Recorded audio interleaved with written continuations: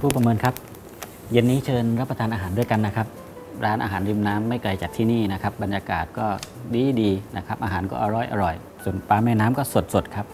วิดีเลยค่ะ ปลานี่ของชอบ จริง ๆ ทางนี้ก็เรียบร้อยแล้ว เดี๋ยวผู้ประเมินอีกสองท่านมา แล้วไปกันเลยนะคะ เดี๋ยวจะมืดค่ำซะก่อน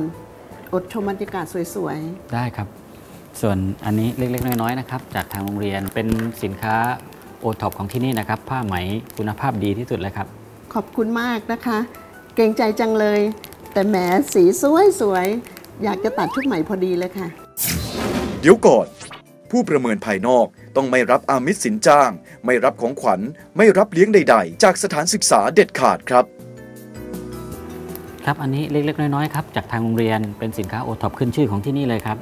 ขอบคุณมากเลยนะคะ แต่ไม่เป็นไรค่ะ ขากลับตั้งใจจะแวะศูนย์หัตถกรรมอุดหนุนชาวบ้านอยู่แล้วค่ะ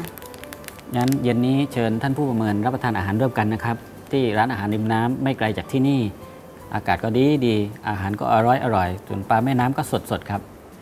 เห็นจะต้องขอตัวนะคะ ยังเก็บข้อมูลไม่เรียบร้อยเลยค่ะ ผู้ประเมินภายนอกต้องซื่อสัตย์สุจริต ยึดมั่นคุณธรรม จริยธรรม และจรรยาบรรณอย่างเคร่งครัด